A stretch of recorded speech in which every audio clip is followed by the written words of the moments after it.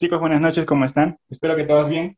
Bueno, vamos a hacer la parte de dermato y nefro, de los casos esenciales mm, para esta fase final. Mm, bueno, empecemos. Primer caso clínico. adolescente que acude al consultorio de pediatría por lesiones dérmicas tipo comedones abiertos y cerrados, pápulas, pústulas, lesiones quísticas en cara y en zonas superiores de espalda y regiones deltoideas. ¿Cuál es el diagnóstico más probable?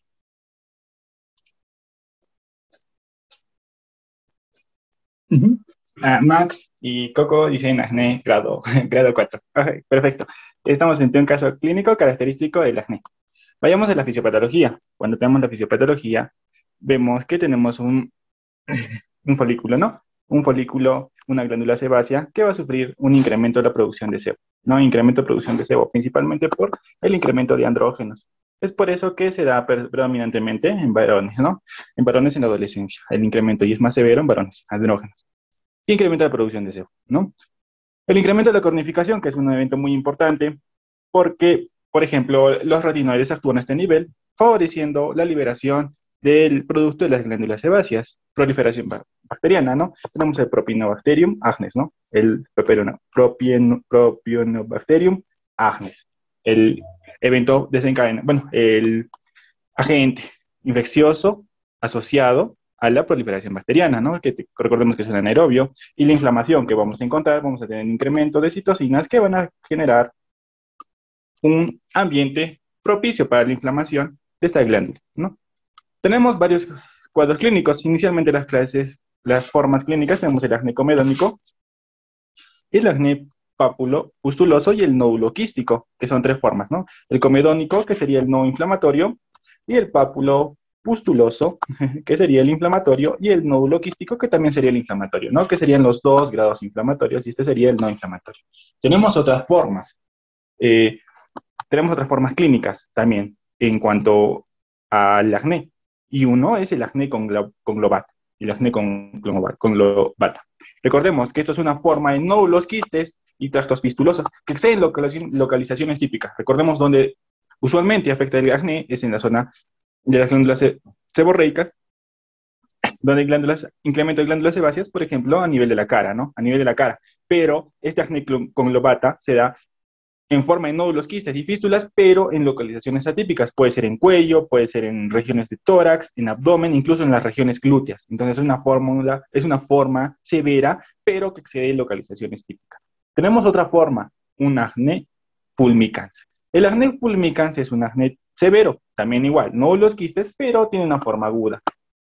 Tiene mal estado general, se asocian con fiebre, incremento de la temperatura, tienen pústulas, fístulas, úlceras, leucocitosis, tienen incremento de BCG. Entonces es un paciente que tiene acné, pero que tiene una alteración de estado general, mal estado general, fiebre, leucocitosis, incremento del BCG. Eh, una forma muy agresiva y muy abrupta. Entonces tenemos tres formas. Eh, las formas clínicas clásicas, ¿no? El comedónico, el papulo pustuloso, el inquístico, el acné lobata, que se forma, que se comprende principalmente nódulos, quistes y tractos fistulosos que exceden localizaciones típicas, y el acné fulmicans, que es una forma aguda, severa, asociado a incremento de temperatura, BCG, leucocitosis y mal estado general, ¿no? Mal estado general con una forma severa. Bueno, en cuanto a los grados, como mencionaron, este es un grado 4, tenemos en los grados 1 los comedones, que tenemos comedones negros y blancos, ¿no? Comedones negros y blancos. Tenemos el grado 2, predominantemente las pápulas, ¿no? Las pápulas, el grado 3, las pústulas, el grado 4, nódulos y quistes. Hay otro grado de severidad que clasifica de mm, leve, moderado y severo, severo. El leve es una, un acné, cualquier tipo de acné, con menos de 20 elementos, menos de 20 elementos lesiones inflamatorias.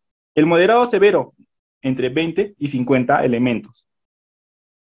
elementos. Y la forma severa, más de mayor o igual a 50 elementos de lesiones dérmicas del acné, ¿no? Entonces tenemos dos tipos de grados, de acuerdo a la gradación y de acuerdo a la severidad, leve, moderado, severo, de acuerdo al tipo, a la cantidad de lesiones que vamos a encontrar en el acné. El tratamiento, si fuera comidónico, si solo fuera comidónico, hablamos en una forma no inflamatoria, solo utilizamos tratamiento tópico. Lo que mencionan es que la mayoría de las formas leves, o sea, los comedónicos, van a tratamiento tópico. Puede ser retinoides consideramos isotretinoína si es que no habría una respuesta al tópico. Vamos con la forma pápulo-pustulosa. Si es leve, o sea, menos de 20 elementos, utilizamos tópico, retinoides o con combinaciones, retinoides o combinaciones. Pero si fuera severo, si fuera severo, tienes más de 50 elementos y tienes una pápulas o pústulas, utilizamos antibiótico sistémico más antibiótico tópico. Y si este antibiótico sistémico y antibiótico tópico no remiten, recién pasamos a la isotretinoína vía oral o sistémica, y oral o sistémica. Y finalmente, si fuera una forma no quística, está indicado la isotretinoína y el tratamiento ya es por vía oral también, ¿no? Más antibióticos, más ATVs por vía oral o sistémica. ¿Qué antibiótico se utiliza por vía oral o sistémica? De elección, tetraciclina. Tetraciclina. Tetraciclinas. Un antibiótico tópico que frecuentemente se utiliza es la clindamicina. La clindamicina. Clindamicina. Bueno, eh, recordemos un poco la isotretinoína. El efecto adverso más frecuente, la hipertrigliceridemia, ¿no? La hipertrigliceridemia que vamos a encontrar, hipertrigliceridemia. Y también recordemos que también tiene efectos teratogénicos a nivel de, en la gestación, ¿no? Puede, puede generar efecto teratogénico. Entonces, pues, por eso que es importante que toda paciente mujer que va a recibir isotretinoína se haga una prueba de BTHG para evaluar si tiene un embarazo o no. Bueno, eso es en cuanto al acné. Recuerden, los niveles, los grados, grado 1 comedones, grado 2 pápulas, grado 3 pústulas, grado 4 nódulos y quistes. No se olviden de estos. 20 elementos para los leves, moderados 20 a 50 y severos más de 50. Todo tratamiento leve o comedónico va con tratamiento tópico. En pápulas pústulos o si fuera severo y encontramos más de 50 elementos, agregamos tratamiento antibiótico, sistémico y tópico. ¿no? Sistémico y tópico. Y si fuera nódulo quístico, la indicación para el nódulo quístico es la isotretinoína, que la isotretinoína, para la forma nódulo quística. Vayamos al siguiente caso. Una niña presenta desde hace unos pocos días múltiples placas eritema, escamas, escamosas de pequeño tamaño, distribuidas por el tronco, que presentan una descamación acarada con el rascado. Dos semanas antes había tenido una faringoamigdalitis. ¿Ante qué caso clínico estamos? Eh, bueno, chicos, eh, este es un caso clínico ah, un poco complicado porque este, no encontraba casos de, este, de este caso clínico. Y bueno, lo saqué uno de un banquito que encontré de ahí del, MIR. Ya, y es una pregunta. Mir, dice, una niña presenta hace pocos días múltiples placas eritemato escamosas de pequeño tamaño distribuidas en tronco que presentan descamación nacarada. Esto es la palabra clave, descamación nacarada con el rastrado lo que nos van a hablar de mm, una patología eh, con descamación, ¿no? Y bueno, que ha tenido un antecedente de faringoamigdalitis. Perfecto. Renzo dice psoriasis gutata. Bien. Nos han hablado de tiña. No, no es tiña característica porque recordemos que eh, la tiña usualmente tiene lesiones satélites, que te van a hablar, lesiones satélites. Bueno, dermatosis seborreicas es unas, son placas, son escamosas, pero características en áreas seborreicas, frente, región centrotorácica, pero que tienen una costra láctea, una costra láctea. Nos van a hablar de líquen cuando tengamos exantemas o las famosas eh, eh, lesiones con las cuatro P, ¿no? Pápulas poligonales, purpúricas, pruriginosas, que vamos a encontrar en zonas de rascado, ¿no? Asociadas al virus de hepatitis C ¿no? y la psoriasis gutata, que vamos a tener un paciente con psoriasis, estas típicas lesiones, placas eritematos escamosas de pequeño tamaño, distribuidas en tronco y que presentan escamación nacarada con el rascado. ¿Esto qué es? Esto es el signo de, el signo de la cera, ¿no? De la, de la cera. Y bueno, que había tenido antecedentes de faringoamigdalitis. Entonces, estamos, estamos ante una psoriasis, una psoriasis. Una psoriasis. Bueno, vayamos a la fisiopatología. La psoriasis tiene un componente genético, en el cual vamos a tener una mutación de alelos como la HLA y el gen SORS1, que está ubicado en el cromosoma 6. No lo olviden, cromosoma 6, ubicado el gen SORS1, que van a predisponer a una agresión inmunológica con predisposición genética en la fisiopatología de la psoriasis. Bueno, factores inmunológicos tenemos incremento de linfocitos de interleucinas. Recordemos, el tiempo de recambio celular, recambio celular en, el epitelio es más o menos entre 28 días, 28 días, lo que dura un ciclo menstrual, ¿no? Pero ¿qué pasa en la psoriasis? Tenemos un incremento de células, tenemos un incremento de, interleucinas, lo que incrementan es la proliferación de células de queratinocitos, de queratinocitos, lo que van a generar es que más o menos entre 4 o 7 días se produzca todo este ciclo de recambio celular a nivel del epitelio. Entonces tenemos un recambio celular incrementado. Y bueno, lo siguiente que vamos a encontrar van a ser factores desencadenantes. Puede ser medicamentos, infecciones. Como en el caso, estreptococo nos habla de una, un paciente con faringomintolitis que va a desencadenar las lesiones papulo-eritematosas. Influenza, el trauma externo, el fenómeno de Koebner, no se olviden el fenómeno de Koebner, que es una lesión traumática en el cual vamos a tener la lesión elemental de la patología dérmica que tenemos. Bueno, entonces el cuadro clínico son placas eritematosas rosadas, simétricas, simétricas, no lo olviden, simétricas en cuero cabelludo, codos, rodillas, región lumbosacra y descamativas, bien delimitadas. Grandes escamas adherentes plateadas podemos encontrar. Entonces, recuerden el lugar, son cuero cabelludo, codos, rodillas, región lumbosacra y descamativas, pero son placas eritematosas simétricas que descaman, ¿no? Con grandes escamas. Tenemos signos característicos, por ejemplo, el signo de la bujía, que nos habla, ¿no? La mancha en cera, este, este acá, ¿no? La descamación. El raspado metódico de Brock nos va a dar estos tres signos. Empezamos a rascar y encontramos este esta descamación que dice, ¿no? Esta escama adherente, plateada, el signo de la mancha en cera. Después podemos encontrar una membrana, el signo de la membrana o de Duncan-Buckley. El signo de la membrana o Duncan-Buckley. Y bueno, cuando terminamos el rascado metódico de Brock, podemos encontrar lesiones eritematosas, sangrantes, conocidas como el signo de Auspit o el signo de rocío sangrante. Vayamos a las siguientes formas. La psoriasis en placas es la forma más frecuente. Localización, como mencionan, cuero cabelludo, codos, rodillas, región lumbosangre, pero es la más frecuente. Es la más frecuente. Es, usualmente es localizada, localizada y es la más frecuente. Vayamos, con la forma de psoriasis eritrodérmica tenemos un paciente que tiene mayor afectación de la superficie corporal dérmica, más del 90%. Tienes un paciente que hace lesiones dérmicas, placas, eritemato rosadas descamativas, pero en más del 90% de la superficie corporal. Es una forma grave, severa. Siguiente. Tenemos psoriasis en gotas. ¿Qué vamos a encontrar? La psoriasis en gota, como el caso clínico. Tienes un paciente con psoriasis, pero que tiene un antecedente de faringomigdalitis y vas a encontrar lesiones escamosas en tronco principalmente, en forma de gotas, ¿no? Psoriasis gutata o en gotas, asociada al estreptococo, al estreptococo. Estreptococo. Después tenemos la forma, la forma, mm, disculpen, ya, tenemos la psoriasis pustulosa. La psoriasis pustulosa que podemos tener dos formas, una localizada, una localizada y una forma generalizada, generalizada. ¿Qué característica tiene esta forma de la psoriasis cutata? Que inicialmente inicia con incremento de temperatura, fiebre, y después va a tener un brote de psoriasis pustulosa.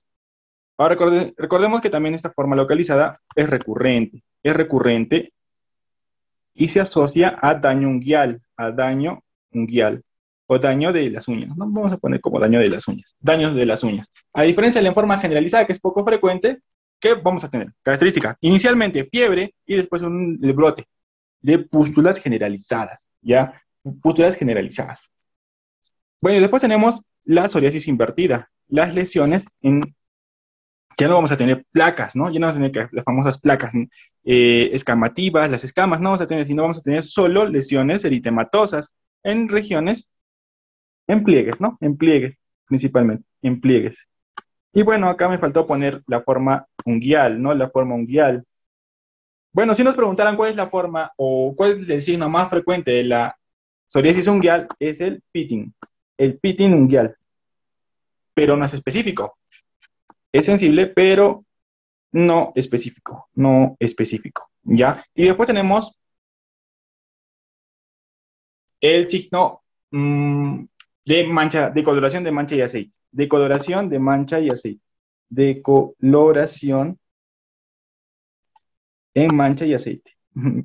mancha de aceite, de aceite, de aceite, ¿ya? Este es el signo más específico que encontramos en la psoriasis. Entonces recordemos, ¿cuál es el más frecuente o el más sensible? Es el peeling. Pero ¿cuál es el que más específico de la enfermedad de, la psoriasis mundial? Es la decoloración en manchas de aceite. Tenemos el tratamiento en la psoriasis, podemos hacer tratamientos tópicos, tratamiento sistémico. El tratamiento tópico es indicado principalmente corticoides, pero ¿en qué pacientes? No en todos, solo en pacientes con que, tengan un daño o una superficie corporal menos de 25%, menos de 25%. En ellos podemos utilizar corticoides. Recordemos que los corticoides podrían estar, están contraindicados en las formas eh, graves o severas. Y queratolíticos, por ejemplo, uria, podemos encontrar uria, inhibidores de la calcineurina como el tacrolimus, el tacrolimus, que podemos encontrar, ¿no? El tacrolimus, que lo que va a hacer es inhibir la interleuquina 2, lo que vamos a disminuir la, eh, la activación inmunológica, derivados de la vitamina D. Pero no lo olviden, solo los tópicos se va a dar el tratamiento en superficie corporal al menos del 25%. Si tuvieras un paciente con psoriasis con superficie corporal mayor o igual a 25%, entonces ahí ya no está indicado los corticoides, utilizamos inmunosupresores. Inmunosupresores sistémicos, retinoides y terapia biológica. No podemos utilizar eh, rayos UVA o PUVA cuando tengamos una superficie corporal mayor al 25%. Entonces recordemos que la psoriasis con una superficie corporal de menos del 25% podemos utilizar corticoides, pero en la superficie, en, cuando la psoriasis tiene una superficie corporal más de 25% o una afectación sistémica, no utilizamos ya los corticoides, utilizamos inmunosupresores. Como por ejemplo la ciclosporina, podemos encontrar el metotrexate, podemos encontrar el varios tipos de tratamiento sistémico. Pero recuerden solo. Corticoides para superficie corporal menos del 25% y sistémico más del 25%. Y bueno, esto. Recordemos un poco de la patología. Lo que caracteriza a la psoriasis son estas placas hiperkeratóticas, hiperkeratósicas. Ya que vamos a tener más, aparte de eso, hiperkeratosis y parakeratosis. ¿Qué quiere decir que tenga parakeratosis? Vamos a, vamos a hablar de un paciente que tiene un estrato córneo con presencia de núcleos en los corneocitos. Recordemos que los corneocitos no deberían tener núcleos, pero estos tienen núcleos. Vamos a encontrar los característicos microcesos de Munro Saburov, que es infiltrado de polimorfonucleares a nivel de la dermis papilar. Ya, perdón, a nivel de la dermis, perdón, dermis papilar, dermis papilar. A este nivel se encuentran los microabscesos de Munro Saburov infiltrado de polimorfo nucleares, de polimorfo nucleares. ¿Qué más vamos a encontrar? Hipogranulosis, acantosis, que vamos a ver más adelante, y papilomatosis. Papilomatosis, recordemos que acá hay una gran vasodilatación. Es por eso que en el raspado metódico de Brock, cuando sacamos toda esta parte de acá, vamos a encontrar ese rocío sangrante, esos vasos que vamos a encontrar y bueno, infiltrados perivasculares. El líquen plano, el líquen plano se caracteriza también por hiperkeratosis, pero ortoqueratósica. ¿qué quiere decir? Que esta hiperkeratosis, el incremento del estrato córneo, el incremento del estrato córneo es sin núcleos, sin núcleos, sin núcleos, ¿ya? A diferencia de la parakeratosis, que tiene núcleos. Estos cuerpos de Cibet o queratinocitos apoptóticos que vamos a encontrar en el líquen plano, la hipergranulosis, a diferencia de la psoriasis, la acantosis, la papilas en diente y en sierra. Papilas en diente de sierra y de generación vacuna. ¿Qué vamos a encontrar aparte del líquen plano? Vamos a encontrar la asociación con el virus hepatitis C, virus hepatitis C. ¿Qué más? Las famosas eh, placas poligonales, ¿no? Poligonales, pluriginosas, purpúricas, ¿no? Purpúricas que vamos a encontrar en el famoso líquen plano. Líquen plano. El tratamiento, corticoides en este caso. Bueno, vayamos a un poco más acerca de lesiones histológicas que vamos a encontrar. Vayamos con la hiperkeratosis, aumento de la capa córnea, solo aumento de la capa córnea. Si hablamos de hipergranulosis, aumento de la capa granulosa, crecimiento de la capa granulosa. Y acá el término que tal vez nos causa un poco de dolor de cabeza, que es la acantosis, aumento del estrato espinoso, el estrato espinoso. Entonces son estas tres formas, lesiones histológicas que vamos a encontrar en las lesiones del estrato epidérmico, epidérmico, ¿no? Epidérmico. Después vamos a encontrar lo que son los famosos edemas, los famosos edemas.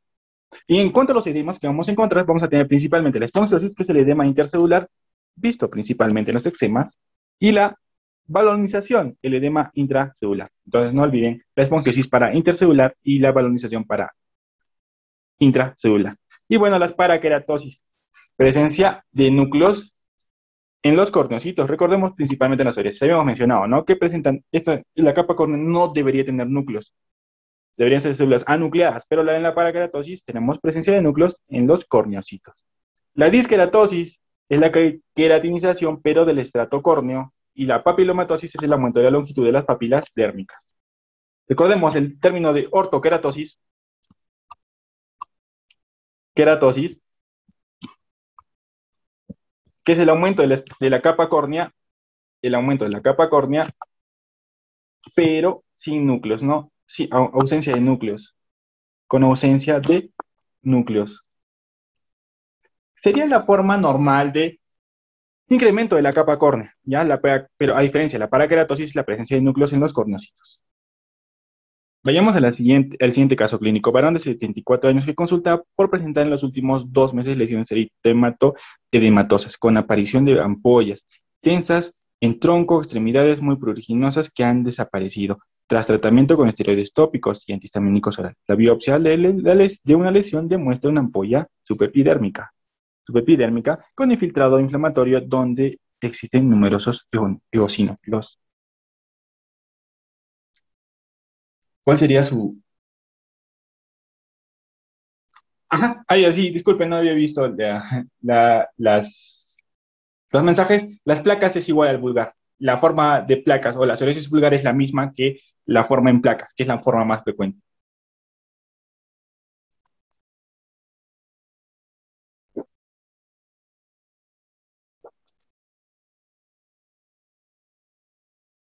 Bien, Max dice penfigoide penfigoide.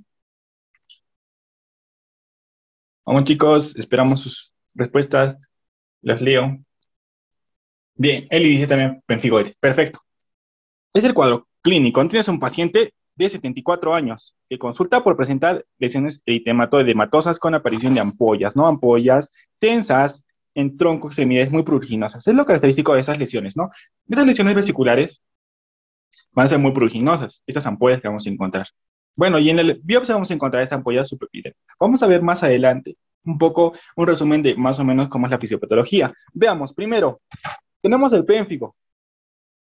El pénfigo es una alteración inmunológica que se va a dar principalmente en los corneocitos, en los corneocitos y el epitelio del estrato epidérmico, en esta, en esa zona de acá. Entonces, si tenemos una alteración en la desmogleína 1, que es el pénfigo foláceo, vamos a tener una alteración acá, solo va a ser subcorneal. Vamos a tener una ampolla subcórnea.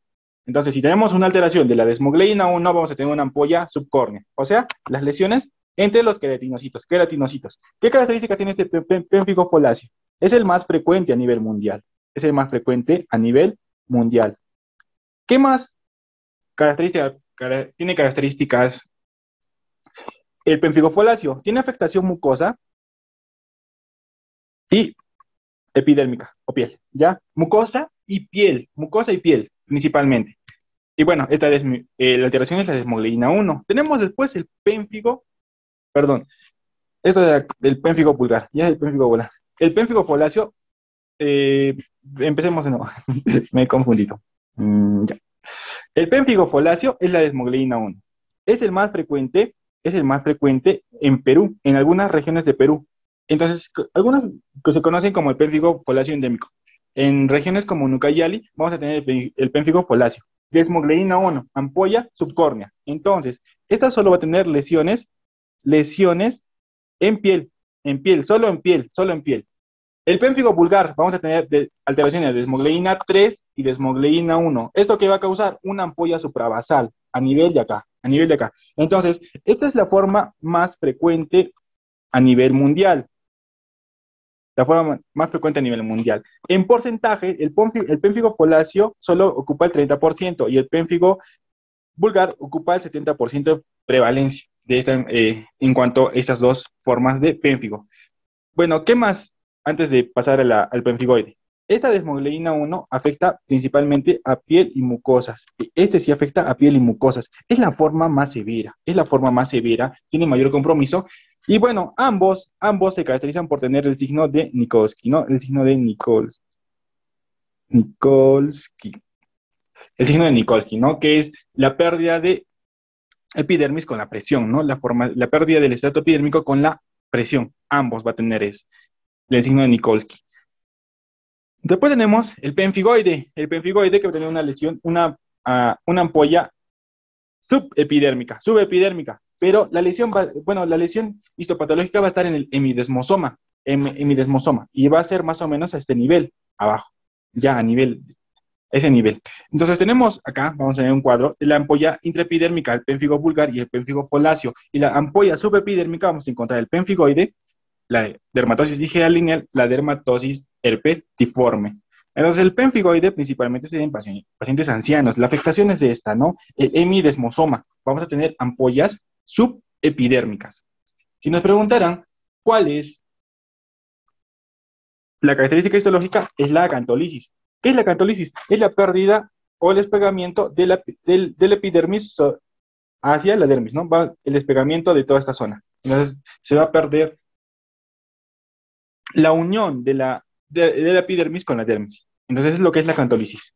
Tenemos formas clínicas características de la ampolla subepidérmica. Habíamos mencionado ya la forma del pénfigo foláceo, que es la más frecuente en el Perú, en, algunas regiones endémicas, la lesión solo es en piel, y el pénfigo vulgar habíamos mencionado que es la forma más frecuente mundial, afecta a piel y mucosas, y la desmogleína 1 y 3 es la que más se afecta.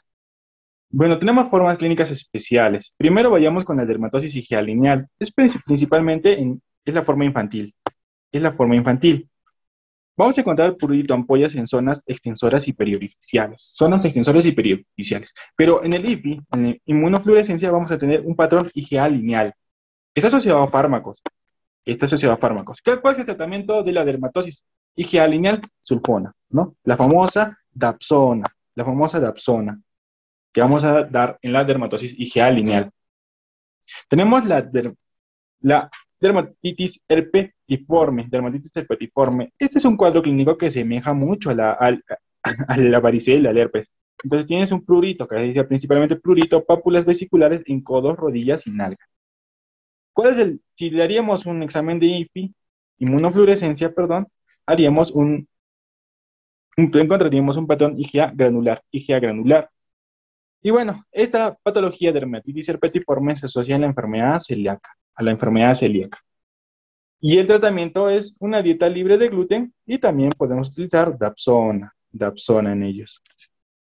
Después tenemos la forma de penfigoide ampolloso, plurito, caracterizado por plurito, grandes ampollas tensas, como nos habla del cuadro clínico, grandes ampollas tensas en tronco, extremidades muy pluriginosas, ¿no? El patrón que vamos a encontrar en, el, la inmunofluorescencia va a ser un IgG-C3. ¿Qué característica también tiene en la biopsia, en la microscopía óptica? Es el infiltrado con eosinófilos. Eosinófilos. El tratamiento que vamos a dar en el penfigoide son corticoides. Entonces recordemos que los, que los penfigoides ampollosos se da principalmente en gente mayor, mayores de 60 años. Mayores de 60 años. Mayores de 60 años. Son ampollas sub epidérmicas, subepidérmicas. Todas las patologías son ampollas subepidérmicas y se caracteriza por una, eh, un depósito de IgG y C3. Y en la microscopía óptica encontramos infiltrado o sinofílico, el tratamiento de corticoides. Bueno, eso es en cuanto a los pénfigos, ¿no? Recordemos, los pénfigos foláceo y vulgar solo son con desmogleína 1 y 3, y el vulgar es con 1 y 3, perdón. el foláceo solo es con 1 y el vulgar es con 1 y 3 el pénfigo foláceo se caracteriza por una ampolla subcórnea. El pénfigo vulgar se, se caracteriza por una ampolla suprabasal, suprabasal. Y bueno, en cuanto al pénfigoide, en ancianos, ampollas tensas con, eh, con en la inmunofluorescencia un depósito de IgG y C3, a diferencia de la IgA lineal y la de herpetiforme que tiene un depósito IgA. Bueno, vayamos a la siguiente. El vitiligo es cierto que, uno, no existe predisposición genética. Dos, casi siempre se encuentran factores desencadenantes. Tres, las lesiones del vitiligo generalizado tienen a la simetría. Cuatro, histológicamente existen disminución de melanosomas. Cinco, el tratamiento habitual es con corticoides orales. Sí, todos dicen la cuatro. No existe una disminución de melanosomas. Y es la respuesta, disminución de melanosomas. ¿No? Pero recordemos que la hablemos un poco de la fisiopatología de la, de la, del vitíligo. Tenemos varias teorías que nos hablan de la lesión a nivel de los melanocitos, ¿no? Uno es la hipótesis neuronal, que nos habla de un mediador neuroquímico que va a generar una lisis a nivel de los melanocitos. Otra teoría es la eh, hipótesis autocitotóxica, que nos va a hablar de metabolitos tóxicos precursores de la melanina. De todas formas. Y bueno, la última que es la hipótesis autoinmune, asociada a síndromes poliglandulares. Y esta es la más aceptada. Esta es la más aceptada hasta ahora. Ya si te preguntaran cuál es la teoría más aceptada en cuanto a la fisiopatología de el vitiligo, es la hipótesis autoinmune, la hipótesis autoinmune. Entonces, tenemos una lesión, ¿no? Principalmente lesión. Puede ser una hipótesis neuronal cuando hay una lesión por un producto neuroquímico tóxico o un metabolito tóxico precursor de la melanina que van a afectar a los melanocitos o un síndrome poliglandular autoinmune que va a desencadenar la forma o la lesión característica acrómica, ¿no? del el vitiligo. Tenemos el vitiligo A, o no segmentario. ¿Qué características tiene? El generalizado. Si nos preguntan cuál es la forma más frecuente, el generalizado. El vitiligo tipo A, no segmentario generalizado. Es el más habitual, es la placa simétrica en superficies y en superficies extensoras. El vitiligo también puede ser focal, placas únicas, pero sin distribución de dermatomas, sin distribución de dermatomas. Y tenemos el vitiligo B, también conocido como segmentario, que afecta un dermatoma y es de forma asimétrica. Afecta principalmente un dermatoma y es de forma asimétrica. El inicio es temprano. Bueno, en cuanto a las enfermedades asociadas al vitiligo, podemos encontrar la leucotriquia, el encanecimiento prematuro, el alus nevus, el alonevomelanoma, el alopecia areata. Recordemos que la alopecia areata se da principalmente por un efecto autoinmune, autoinmune, que vamos a tener unas lesiones de alopecia, placas localizadas, pero puede ser desencadenadas por E3 también, pero son de etiología probablemente autoinmune. La morfea, no la morfea característica de la esclerosis sistémica de las enfermedades tiroideas, como por ejemplo Hashimoto, o el hipertiroidismo, la enfermedad de Graves, la enfermedad de Graves que vamos a encontrar. El hipotiroidismo, bueno, habíamos hablado de Hashimoto, ¿no? La tiroiditis de Hashimoto, el, el hipopituitarismo, la enfermedad de Addison, la anemia perniciosa, la diabetes mellitus y el síndrome poliglandular autoinmune. Entonces hubo una pregunta que preguntaron, ¿cuál, eh, eh, que pedían cuál no estaba asociada. Y bueno, la respuesta en ese momento era la eh, el dique. El dique no está asociado a patología autoinmune. ¿ya? A diferencia del vitiligo. El vitiligo tiene un componente autoinmune muy importante. En cuanto al tratamiento, podemos utilizar corticoides tópicos de primera línea o corticoides orales, inhibidores de la calcineurina y fototerapia. Entonces, es un, una patología eh, que mejora mucho con la fototerapia, con los corticoides. Recordemos la etiología autoinmune. Es por eso que es la más aceptada, por la respuesta a los corticoides que tiene esta patología. Bueno, siguiente. Trabajador de construcción civil de 50 años de edad. Tiene una pápula erosionada de lento crecimiento en el labio inferior. Tiene una historia de leucoplasia y ha sido gran fumador. Tiene un nódulo supraclavicular sensible y pequeño. Podría tener. ¿Cuál es la patología que podría tener este paciente. ¿Cuál es el diagnóstico?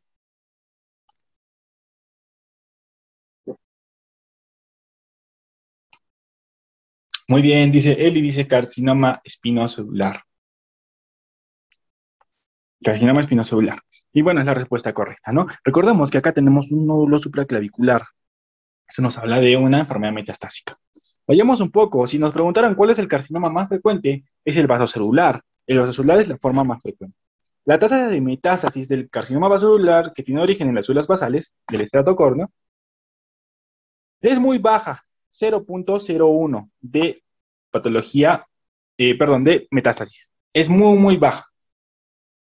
Bien, las lesiones asociadas. Esto es importante porque lo, he encontrado en un, eh, en un simulacro. Lesiones asociadas. Cuando ves nebus piensas que es melanoma, pero no. Este nebus sebáceo se asocia frecuentemente a vasocelular, el síndrome de Gorlin y el scleroderma pigmentoso. Pero este nebus sebáceo que fue pregunta de un banco, de un banco que por ahí resolvimos. Entonces tenemos cuatro formas clínicas. La forma nodular, que es la forma más frecuente que tenemos acá. Una forma clínica perlada, nodular, y es la forma más frecuente de presentación, la forma más frecuente, la nodular. Tenemos una forma superficial, ¿Qué es un eritema descamativo? Descamativo, solo descamativo. Esclerosante, tenemos una placa mal delimitada, ¿no? Esclerosante tenemos una placa nacarada, mal delimitada, y esta no tiene respuesta a la radioterapia. El Ulcos rodens es la forma más agresiva. Si nos preguntara más, la forma más agresiva es el Ulcos, el Ulcus rodens, que, presenta frecuentemente ulceración. Vamos al carcinoma espinocelular, etiología, radiación, PBH, el tabaco, como dice el paciente, ¿no? El paciente es un constructor, eh, es un trabajador de construcción civil que está expuesto a radiación solar crónica. Además, tiene historia de leucoplasia y es un gran fumador. Entonces, tiene una alta tasa de, una alta probabilidad de tener un carcinoma espinocelular. La tasa de metástasis va de 0.5 y 3%, pero incrementa en lesiones específicas. Por ejemplo, el labio. Lugares, bueno, ¿y dónde se ubica principalmente el carcinoma espinocelular? En cuero cabelludo, mejillas, nariz, labio inferior, característico. Entonces, lo del carcinoma eh, espinocelular se ubica desde la nariz hacia abajo, a diferencia del vaso celular, que se ubica desde la nariz hacia arriba. Es lo más frecuente encontrar el vaso celular de la nariz hacia arriba, pero de la nariz hacia abajo vamos a encontrar predominantemente carcinoma espinocelular. Podemos encontrarlo también en la oreja, región preauricular, dorso de las manos y troncos y espinillas. Bien, la forma clínica que vamos a encontrar es solo una, pápulas, placas, nódulos indurados, gruesas escamas de queratoyalina, erosión y ulceración. Entonces son pápulas, placas con erosiones que ulceran frecuentemente, con hiperkeratosis que vamos a encontrar, por ejemplo, acá, placas, nódulos indurados, gruesas escamas de queratina y induración, ¿no? Por desindurados que vamos a encontrar. Es lo que van a hablar, principalmente. Y bueno, la última neoplasia, que es el melanoma, vamos a tener cuatro formas principales. Ahora, si nos preguntaran el melanoma, eh, respecto al melanoma, ¿cuál es la, eh, las lesiones precursoras? El nebus gigante congénito. El nebus gigante congénito. También podemos encontrar el nebus displásico, que es el que más se asocia, más asocia. El nebus displásico. Y también el ceroderma pigmentoso, que te puede generar carcinoma vasocelular y melanoma pigmentoso. Ya. Bueno, tenemos una forma, el léntigo maligno, representa solo el 10%. Recuerden esto, mujeres ancianas, afecta principalmente cara, afecta principalmente cara y son las fotoexpuestas. Tenemos la siguiente forma, la extensión superficial, es el más frecuente a nivel mundial, tiene un crecimiento radial lento. Bueno, este más o menos es un crecimiento radial de 5 años. Ya, entonces recordemos, si tenemos la piel acá, más o menos acá, tenemos la piel, el melanoma tiene principalmente un crecimiento radial inicialmente. Depende mucho. Por ejemplo, en el léntigo maligno, el, crecimiento radial es más o menos 10 años. 10 años. Entonces se va a demorar 10 años en tener un crecimiento radial. Pero una vez que llega pasa estos 10 años, estos 5 años para la extensión superficial, empieza la extensión vertical profunda. ¿Ya? Es por eso que vemos crecimiento radial lento, 5 años, y a partir de ahí ya empieza el crecimiento vertical de profundización. Es por eso que en estos pacientes utilizamos lo que es el famoso ABCD, ¿no? El famoso ABCD de screening en las lesiones que podrían tener una alta probabilidad de ser cáncer, principalmente melanoma. Tenemos la forma de lentiginosa acral, es el más frecuente del Perú, ya es el más frecuente del Perú. Localización palmas y plantas y lechos unguiales, es más frecuente en raza negra. Y bueno, estas son las formas benignas, el léntigo maligno y la, el, la extensión superficial, bueno, no benignas, no serían las de mejor pronóstico. El lentiginoso acral, que es el más frecuente en Perú, que se ubica principalmente en palmas y plantas, sería una de las formas eh, con peor pronóstico, ¿no? Y el melanoma nodular, ¿qué es la característica del melanoma nodular? Va principalmente sobre piel sana, va sobre piel sana, ya va en cualquier zona y aparición repentina, pero es rápidamente invasor. No tiene crecimiento radial, solo tiene un crecimiento vertical. Ya es frecuente la ulceración y sangrado de la forma nodular. Entonces, para que te acuerdes, el léntigo maligno principalmente se da en ancianos y es una lesión principalmente en cara, frecuentemente. La extensión superficial es una lesión de crecimiento radial característico, ¿no? Característico, mácula, placa, con alteraciones. Bueno, y la zona lentigina sacral se da principalmente en palmas y plantas, y la forma nodular es una forma ya muy avanzada en cualquier lugar, y es frecuentemente ulcera y eh, tiene frecuentemente hemorragias. En cuanto al melanoma. Bueno, y el índice de Clark vamos a tener principalmente el grado 1 intraepidérmico, el grado 2 invasión papilar o de papilar, Grado 3, invasión total. El grado 4, invasión de la dermis reticular. Y el grado 5, invasión de la hipodermis. Otra forma de decir que el grado 3 es la unión, o la unión dermoepidérmica, unión eh, eh, de dermis reticular, de dermis reticular y papilar. Papilar, ¿no? Y bueno, el otro, el índice de Breslow, ¿no? El índice de Breslow, que tenemos un índice de Breslow menos de 1 milímetro para el estadio 1, el estadio 2 entre 1 y 2, el estadio 3 entre 2 y 4 y el estadio 4 más de 4 milímetros. Vemos la superficie en base ¿no? El estadio 1, el 96% tiene índice de supervivencia a los 10 años, el, entre 1 y 2, el estadio 2, el 87%, entre el 2 y 4 milímetros, que sería el estadio 3 en 70%, y más de 4 milímetros sobre el 50% sobrevive. Entonces, ¿cuál es el factor más importante del melanoma? Es la invasión, ¿no? Es la invasión. La invasión que va a tener el melanoma. Entonces, recordemos el 1 solo es epidérmico, el 2 va hacia dermis papilar, el 3 va hacia dermis, o invasión total de la dermis papilar, o la unión dérmica papilar y reticular, el grado 4, dermis reticular, el grado 5, ya tejido celular subcutáneo y poderoso. Vamos a nefrología. Vayamos al siguiente caso clínico. Escolar de 7 años, presente hipertensión arterial, edema palpebral, hematuria, proteinuria leve, dosaje de complemento C3 bajo, antecedente de faringoamigdalitis hace 10 días. ¿Cuál es el diagnóstico? Bien, chicos, glomerulonephritis post-septocócica, ¿no? Un cuadro clásico de glomerulonephritis post-septocócica. Bueno, recordemos las glomerulonefritis proliferativas, en este caso son las, las que vamos a ver en adelante, vamos a tener primero la glomerulonefritis endocapilar. De etiología, exceptococo, estafilococo, pueden encontrar. De etiología primaria. De etiología secundaria podemos encontrar la endocarditis. Bueno, analicemos un poco del exceptococo, que es la más frecuente. ¿Qué se caracteriza por un síndrome nefrítico, de presentación como un síndrome nefrítico? ¿Qué más te van a decir del síndrome nefrítico? Que tiene un periodo de incubación, bueno, un periodo de ventana, ¿ya? Que para las lesiones faringias es de 7 a 14 días y para las lesiones dérmicas es de 14 a 21 días. ¿Cuántos días? Tiene 10 días, ¿no? Entre el, en el periodo de ventana para el desarrollo de glomerulonefritis. Este es, el, eh, este es eh, antecedente de la glomerulonefritis endocapilar postestreptocócica. El diagnóstico que vamos a tener va a ser clínico. Un paciente con síndrome nefrótico que va a, tener un antecedente de una faringomintalitis. Pero podemos hacer una biopsia renal. ¿Qué vamos a encontrar en la inmunofluorescencia indirecta? Vamos a encontrar un depósito granular de IgG IC3, complemento 3, pero este patrón, que lo encontré en un banco, en cielo estrellado. En cielo estrellado, que te va a que es característico de la glomerulonephritis postestreptocócica. En la microscopía electrónica vamos a encontrar lo que son las famosas jorobas. Famosas jorobas. Si nos preguntan el tratamiento de la glomerulonefritis endocapilar, pues, perdón, Ahora, ¿qué es otra cosa importante? Algo que me estoy olvidando. La postestreptocócica se caracteriza por tener un C3 disminuido y un C4 normal un C4 normal. Y bueno, eh, vamos al extracapilar. La etiología desconocida, ¿no? Principalmente tenemos la secundaria de la vasculitis, por ejemplo, el ANCA, las, vasculitis de pequeño vaso. Podemos encontrar también el famoso LES, el famoso LES. También eh, como la glomerulonephritis extracapilar, extracapilar. Tenemos tres formas, ¿no? Tres formas. Primero, la de tipo 1, o la glomerulonephritis antimembrana basal glomerular, que se caracteriza por tener un patrón lineal de depósitos de IgG más C3, IgG más C3, ya IgG más C3, que vamos a encontrar el patrón lineal. El, la tipo 2 o mediada por inmunocomplejos, vamos a encontrar patrones granulares, granulares de IgG y C3. El grado, eh, bueno, en la glomerulonefritis tipo 3 vamos a encontrar asociaciones a ANCA-P y ANCA-C, y ANCA-C.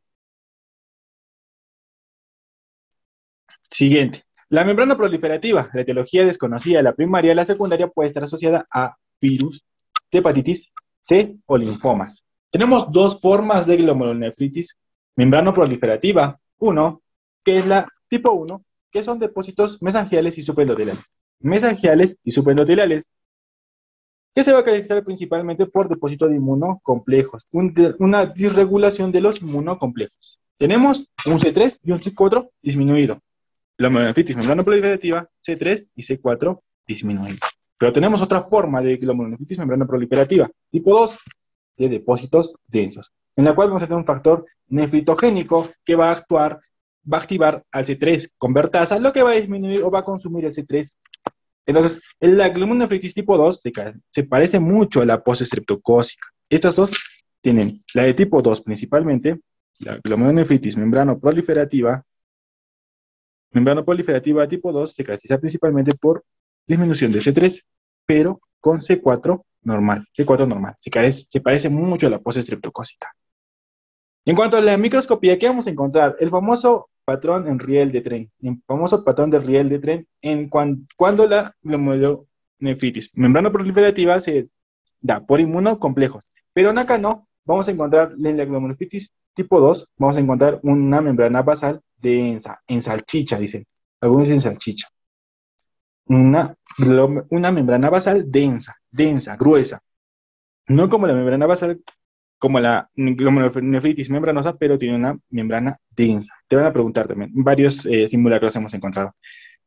Bueno, en cuanto al tratamiento, si fuera un endocapilar, los antibióticos en infección activa, pero en si fuera un síndrome nefrítico, el reposo absoluto, lo manejamos como toda insuficiencia renal aguda, ¿no? Restricción, diuréticos de asa habría eh, un eh, edema, una hiperpolemia. El tratamiento de hipertensión, Recordemos, el tratamiento de hipertensión en la glomerulonefritis proceso solo en el 50% de pacientes. ¿Y qué utilizamos? Calcio antagonistas o vasodilatadores, vasodilatadores de acción directa, de acción directa. Directa. Ya, vasodilatadores de acción directa. Pero de predominio, o más utilizados calcio antagonistas. Si fuera una extracapilar, podemos utilizarla en la tipo 1, plasma ferecisa de elección, en la tipo 2, esteroides, y buscamos la causa. Si fuera un LES, tratamos de acuerdo al estadio del ES, por ejemplo, el 4 es el más frecuente, la glomerulonefritis proliferativa difusa, podemos utilizar también, este, eh, depende de la etiología. Por ejemplo, en la grado 5, que sería la glomerulonefritis membranosa, podemos utilizar solo esteroides. Ya, pero depende mucho de la causa, depende mucho de la causa. Y en el estadio, bueno, en la glomerulonefritis grado 3, vamos con ciclofosfamida, esteroides, plasmaferesis, si es que no habría una respuesta. Y en la membrana proliferativa hay discusión. La 1 se trata con corticoides como las otras glomerulonefritis, pero no hay, no, hay una, no hay una, eficacia del tratamiento eh, contra la glomerulonefritis membrana proliferativa tipo 1. En el tipo 2 dice que se podría tratar con eculizumab. Recordemos que el eculizumab es un inhibidor de C5, de C5.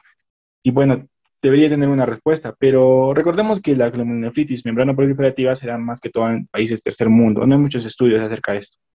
Y en la, en la 1 damos corticoides, como una glomerulonefritis membranosa, y en la dos utilizaríamos el eculizumab como una patología o como una desregulación del factor de complemento, de los complementos.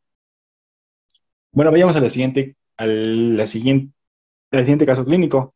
Niño de 6 años, desde hace un mes presenta edema bipalpebral, edema pretibial, sedimento de orina, presenta proteinuria 3 cruces, filtración glomerular 90 ml por minuto, uno de 1.3 de superficie corporal, albumina sérica 2 gramos, creatinina 0,8, sodio 130. ¿Cuál es el diagnóstico? Todo en el síndrome nefrótico. Perfecto, chicos. Síndrome nefrótico. Un síndrome nefrótico. Ahora, ¿qué más vamos a tener aparte del síndrome nefrótico? Es una enfermedad de cambios mínimos, ¿no? Enfermedad de cambios mínimos. Ya.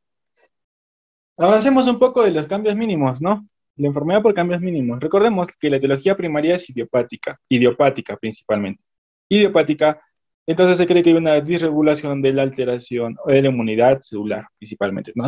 Que explica la respuesta a los corticoides. Secundario, podemos encontrar linfoma no Hodgkin, atopias, AINES, yecas, ¿no? Yecas. A la cabeza, captopril, captopril, que fue preguntada de examen, captopril, que puede generar cambios mínimos, pero el captopril también puede generar glomerulonefritis, bueno, glomerulonefrosis membranosa. Siguiente, ¿cuál es la clínica que, te van a hablar en cambios mínimos? Eh, proteinuria selectiva, albuminuria principalmente, albuminuria principalmente. Es de evolución benigna, la alteración está mediada por inmunidad celular. Y bueno, en la microscopía electrónica podemos encontrar borramiento de pedicelos. El tratamiento se da con corticoides, prednisolona, prednisona, bueno, la prednisolona también sería la misma dosis, ¿no? 60 miligramos metro cuadrado por día por día. Si tienes un paciente con, con síndrome nefrótico persistente, persistente o recidivante, o recidivante, en ese paciente vas a utilizar principalmente terapia biológica, no terapia biológica. Puedes utilizar ciclofosfamida o micofenolato, micofenolato en estos pacientes. Vayamos a la siguiente patología. Vamos, membranosa. La etiología primaria se ha asociado a la fosfolipasa, anticuerpos antifosfolipasa 2. Pero si fuera secundaria, tenemos la cabeza, virus de hepatitis B, neoplasias malignas, linfomas, artritis reumatoideales, incluso patologías crónicas de inflamación. Por ejemplo, TBC, que podrían generar. Endocarditis también podría generar. Ya, generar inmunocomplejos que van a generar una proliferación de la membrana, ¿no? Pero la cabeza fosfolipasa para las primarias y hepatitis B para las secundarias. Recordemos, la hepatitis C se asociaba a glomulonefritis membrana proliferativa. ¿Qué te van a hablar de clínica en una paciente, un paciente con glomulonefrosis membranosa? Me trabo con estos términos. La proteinuria masiva, principalmente albuminuria y otras proteínas que vamos a encontrar en, en estos pacientes albuminuria y otras proteínas. Recordemos que la cambios mínimos es albuminuria, es una proteinuria selectiva, pero la membranosa es una proteinuria masiva con albuminuria y otras proteínas que podríamos encontrar. En la microscopía electrónica vamos a encontrar los famosos spikes, spikes que vamos a encontrar en la membrana basal. En la membrana basal. Entonces, acá se depositan inmunocomplejos y vamos a encontrar los famosos spikes, spikes entre, los membranas, entre las membranas basales. Y finalmente van a tratar de cubrir todos los inmunocomplejos que encontramos a nivel de la membrana basal vamos a encontrar depósitos densos entre la membrana basal y los podocitos, pero los famosos spikes, spikes a nivel de la membrana basal. El tratamiento, utilizamos corticoides con el esquema de Ponticelli, ¿no? El esquema de Ponticelli. Utilizamos principalmente corticoides. El esquema de Ponticelli. Vamos a la siguiente patología, la glomerulonefrosis segmentaria y focal. Segmentaria y focal. La etiología primaria es desconocida. Se asocia a un factor circulante. Ya la secundaria, VIH, malaria, linfoma, nefropatía por reflujo. Y bueno, les he traído un cuadrito de sacado CTO, en el cual nos habla de la clasificación, de la etiología. La primaria, este factor activador de plasminógeno soluble circulante que se ha asociado a la glomerulosclerosis segmentaria focal. ¿Qué característica tienen este, eh, estos pacientes? Que tienen recidiva en pacientes post-trasplantados. Post-trasplantados trasplantados, plantados ¿ya? Y bueno, el gen de la nefrina, el gen de la podocina, que vamos a encontrar síndromes nefróticos en, en, la zona eh, europea, ¿no? En la zona europea. Y bueno, la secundaria vamos a tener principalmente por hiperfiltración, cuando hay una disminución de masa renal, como eh, puede tener cualquier caso, ¿no? Una nefrectomía, una hipoplasia, reflujo, reflujo vesículo ureteral, pilonefrotis nefritis crónica, enfermedad renal crónica, lo que van a hacer es una disminución de la masa renal y van a causar hiperfiltración. Al, causar hiperfiltración, lo que va a generar es un daño a nivel de el glomérulo y va a generar una fibrosis. Pero si no tenemos disminución de masa renal a la cabeza, obesidad, obesidad, anemia de células falciformes, ya obesidad, que fue pregunta mía. Y bueno, toxicidad directa al VIH, la heroína, el interferón, bifosfonatos, anabolizantes, anabolizantes, parásitos, ¿no? Plasmodium, esquistosoma hematobium, que vamos a tener. Entonces recordemos que la focalitis segmentaria es una enfermedad, una glomerulonefritis que tiene recidiva en post-trasplante. Este factor circulante, el activador, activador plasminógeno, se asocia a la recidiva. Secundario podemos encontrar por toxicidad, a la cabeza VIH, malaria, que vamos a encontrar, ¿no? Puede ser, puede ser con hiperfiltración, un paciente que tiene disminución. Entonces acuérdate que todos los pacientes que tengan disminución de la masa renal van a tener hiperfiltración. Sin disminución, acuérdate de la obesidad, la obesidad principal, que te va a causar glomerulosclerosis focal y segmentaria. Y bueno, la clínica que vamos a tener en los pacientes con focal y segmentaria va a ser proteinuria en rango nefrótico. Recordemos que esta es una patología frecuente. La glomerulonefritis, la glomerulonefritis más frecuente en adultos puede estar asociada a hipertensión, hematuria microscópica. En la microscopía, perdón, acá es esclerosis en menos del 50%, por eso es segmentaria. Y solo focal, solo hay una lesión en la en glomérulos, ¿no? Una lesión en glomérulos. Recordemos más o menos, tenemos el glomérulo, el túbulo contorneo distal, el de Henle, el túbulo distal, ¿no? Entonces, la glomerulonefrosis esa focal segmentaria solo tendría una lesión a nivel de un segmento del túbulo, no es, un, no es una alteración difusa, ¿no? Solo es un segmento, puede ser segmentario y focal y focal. Y la focal, que tiene una, una cantidad menos del 50% de glomérulos, glomérulos afectados. Bueno, el tratamiento en la focal segmentaria, primero, tenemos que disminuir, en todas las patologías con síndrome nefrótico tenemos que disminuir la proteinuria. Y bueno, si tuviéramos un paciente con glomerulonephritis con hiperfiltración, lo que, ¿cómo disminuiríamos? ¿Con los yecas o los árados? Disminuye de hiperfiltración. Otra cosa importante tener en cuenta, que todo paciente con síndrome nefrótico en rango no nefrótico puede ir con yecas, y cuando ya esté en rango nefrótico van con corticoides. A diferencia de la glomerulosclerosis focal y segmentaria, secundaria, tenemos que tratar la causa de fondo. Si tienes un paciente con VIH, trata el VIH, dale, dale la terapia antiviral. Malaria, trata la malaria y va a, va curar la glomerulosclerosis focal y segmentaria, ¿no? Pero recuerden, algo importante también, este paciente tiene albúmina cerca de 2 gramos, ¿ya? Algo en cuanto a la anticoagulación, bueno, lo haré acá. La anticoagulación, la anticoagulación, por ejemplo, si tienes una, eh, em, una albúmina, albúmina más de 2 2.5, no haces nada. Pero si tienes una albúmina menos de 2.5, menos de 2.5, a él lo anticoagulas. Ya él sí lo anticoagulas.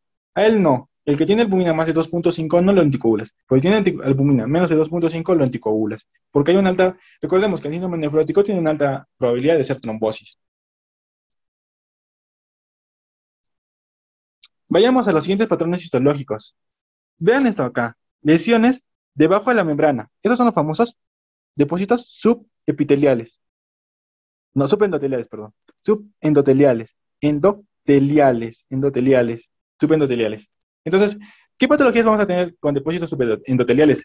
a la cabeza, glomerulonefritis posesodocócica. Glomerulonefritis IgA, glomerulonefritis membrana proliferativa y glomerulonefritis por LES. Bueno, si tuviéramos depósitos membranosos, ¿qué patologías podríamos encontrar? principalmente good pasture o, o glomerulonefritis antimembrana basal glomerular. ¿ya? Y si fueran epimembranosos, epimembranosos, membranosos, o subendoteliales, o subepiteliales, es decir, subepiteliales, acuérdense estos dos sinónimos, epimembranosos o subepiteliales, en este caso tendríamos solo una patología, glomerulonefritis membranosa, glomerulonefritis membranosa. Bueno, estos son en cuanto a los patrones, ¿no? Estos subendoteliales usualmente van con hematuria, con hematuria. Los pacientes con membranosas pueden ir con glomerulonefritis rápidamente progresiva, rápidamente progresiva, pero también pueden hacer proteinuria selectiva. Ya proteinurias selectivas. Y bueno, los subepiteliales van con proteinuria masiva, con proteinuria masiva. Proteinuria masiva. Bueno, eso es en cuanto a los patrones histológicos que vamos a encontrar. Bueno, siguiente caso. Varón de 70 años es llevado a emergencia por diarrea cosa abundante, oliguria, de tres días de evolución. Antecedente de hipertensión arterial. Al examen, soporoso, deshidratado, presiones del 80-50, frecuencia cardíaca 120, frecuencia respiratoria de 32, urea sérica en 150, creatinina en 7. ¿Cuál es el diagnóstico más probable? De chicas, dicen insuficiencia renal aguda. Perfecto. Ya. Eh, ¿Qué es importante? Ven, ven, vamos a analizar el caso clínico. Varón de 70 años, varón de 70 años, es llevado a emergencia por diarrea cosa abundante. Vamos, tiene una, disminución de la bulimia. Y tiene oliguria, pero de tres días de evolución. Más o menos, la, para que veamos una pérdida renal, es menos de 48 horas, ¿ya? Y pasadas las 48 horas ya estaría desarrollando una ira renal, pero eso tiene tres días de evolución. Y bueno, tiene una uria en 150, que tiene 7 miligramos por decilitro. ¿no? La respuesta, bueno, esta pregunta es ira renal, ya ira renal. Recuerda, por el tiempo de evolución, tres días es mucho. La ira prerenal es menos de 48, ya principalmente, menos de 48 horas. ¿Cómo hacemos la definición de incremento? Bueno, la definición pues, según las guías de aquí. Las guías de aquí nos hablan de un incremento de creatinina de más de 0.3 en 48 horas. ¿En qué pacientes? Cuando no sabes la creatinina previa. La creatinina previa no la conocemos. No, no, sabemos la creatinina previa. No sabemos el estado previo. Ya. Entonces, si tienes un paciente con que sabes que eh, tienes el valor de la creatinina previa, el incremento en 1.5 veces, y cuando es conocido y tenía al menos en los 7 días anteriores, haces el diagnóstico de, de insuficiencia renal aguda. Otro criterio que también mencionan es el volumen urinario, menos de 0.5 milímetros por mililitros por kilogramo por hora por 6 horas. ¿Ya? Esos son los tres diagnósticos según las guías aquí. Acá digo. Bueno, hagamos una, eh, una asociación. Principalmente, cuando te dicen que tiene más de 0.5 ml por kilogramo peso por día, más o menos tienes 30 ml por hora. 30 ml por hora, que más o menos sería 720 ml, lo que, lo que consideramos como oliguria.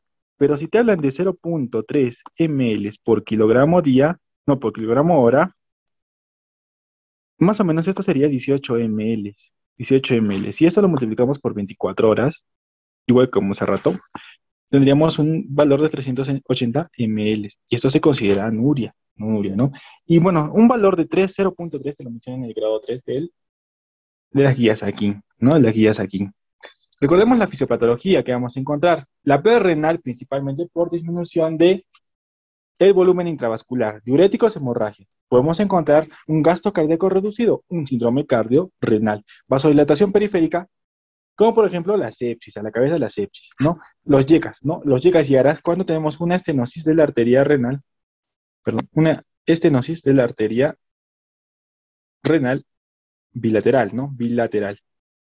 Cuando tú le das yecas y árados, puedes generar una insuficiencia renal aguda en estenosis de la arteria renal cuando es bilateral. Si fuera renal, podemos tener patología vascular, glomerular, intersticial. Glomerular, habíamos mencionado las glomerulonefritis rápidamente progresivas.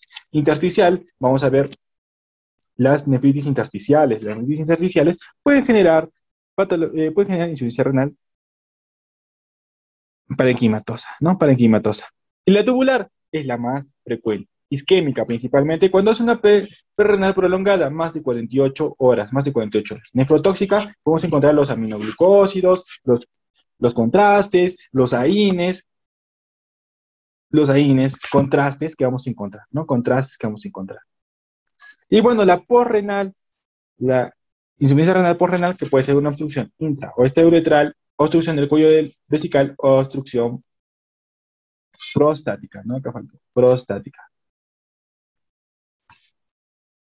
Bueno, en cuanto al diagnóstico que vamos a encontrar, los famosos valores, ¿no? Insuficiencia renal aguda, renal, tenemos. Recuérdate que para la renal vas a tener una, eh, vas a tener todo tu sistema de compensación indemne. Eso quiere decir que si tú tienes hipovolemia, vas a reabsorber toda la cantidad de sodio y agua que tengas porque tienes una depresión de volumen. Entonces, si tú vas a resolver toda la cantidad de agua y sodio, que vas a tener un sodio urinario menos de 12 mil equivalentes, ¿no? Pero el valor clásico es 20, ¿no? 20. Potasio, el valor es incremento, es una relación potasio-orina, es positivo por el valor de potasio, pero vamos a encontrar también una hiperosmolaridad de la orina, un pena menos del 1%, la uria y el boom más de 0.8, la relación urea-creatinina más de 40 y la, el índice de, eh, mm, falla renal menos de 1%, ¿no? que es parecido al FENA, pero tiene menos valores, no menos valores. Y los cilindros que vamos a encontrar son los yalinos, los yalinos. Entonces, si tú tienes una patología renal en la cual todos tus sistemas de compensación han fracasado, vas a tener una lesión parenquimatosa, que vas a tener un incremento de sodio, una, una disminución de la osmolaridad porque vas a empezar a diluir la orina, un FENA más de 2%, más de 2%, ese valor, la relación menos de 3, la relación de creatinina menos de 20%. Y bueno, vamos a tener cilindros pigmentados y celulares, o tubulares también, o tubulares, en la patología renal parenquimatosa. Algo importante para la creatinina, para que se acuerde, y bueno, es la forma como yo me acuerdo, recuerda que se van a reabsorber agua y solutos, agua y sodio principalmente, pero el agua se reabsorbe con la uria, entonces si tú reabsorbes uria, vas a incrementar el valor de la relación en caso de la renal. Pero cuando tú tienes una alteración parenquimatosa, ya no vas a tener ese mecanismo de compensación. Entonces tu urea va a ser eliminada junto con la orina y tu relación urea-creatinina va a caer. Entonces acuérdate que para la parte prerrenal, todo lo que active, y eh, todo lo que compense tu depresión de volumen, lo que va a hacer activar y vas a tener los valores en la orina, ¿no? Sodio bajo, un vena bajo, una relación urea-creatinina alta, porque recuerden que la urea se reabsorbe junto con el agua y cilindros hialinos. Y la parenquimatosa va a tener una alteración, un sodio elevado, una dilución, una osmolaridad menos de 350. Una ureocreatinina menos de 20. Bueno, en cuanto a las patologías que vamos a encontrar. Bueno, manejo de complicaciones. Si te hablan de sobrecarga de volumen, ¿cómo tratamos esto? Restricción de agua y sal, diuréticos y finalmente diálisis. Restricción de agua y sal, pregunta de examen de salud. Si tuvieras un paciente con hiponatremia, solo restricción de fluidos, solo restricción de fluidos, ¿ya? Y bueno, si es que no afectara, eh, bueno, si no, si, no lo pudieras compensarlo, vas a diálisis, vas a diálisis. Diálisis, ¿ya? La hipercalemia, restricción de potasio, gluconato de calcio como estabilizador de membrana y glucosa e insulina, glucosa e insulina. Y bueno, y, diálisis que no fuera, este, si no fuera, si no lo trataras, si tuvieras una hipercalemia refractaria. En cuanto a la acidosis metabólica, das restricción proteica, puedes darle bicarbonato de sodio siempre y cuando tu pH esté menos de 7.1 o tu bicarbonato esté menos de 5, no menos de 5. La hipocalcemia, hiperfosforemia, ¿qué vas a dar? Para la, para la hipocalcemia, das carbonato de calcio y para la hiperfosforemia, das restricción de fosfato. Restricción de fosfato.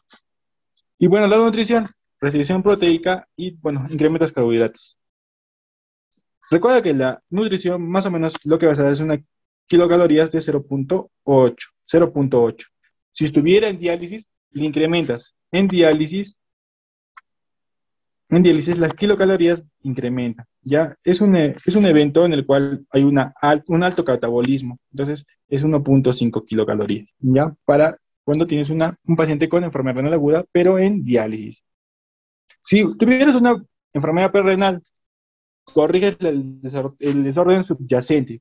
Por ejemplo, si tuvieras un, paciente con gasto cardíaco reducido, lo que le vas a dar es un nootrópico, ¿no? Un nootrópico, mejoras el volumen circulante efectivo. Si tuvieras una vasodilatación periférica, pudieras dar un reto de fluidos y luego iniciar con aminas, principalmente la adrenalina para la sepsis, ¿no? Si tuvieras depresión de volumen, mejoras la, el, volumen, ¿no? Mejoras el gasto cardíaco, mejoras la resistencia vascular y monitorizas.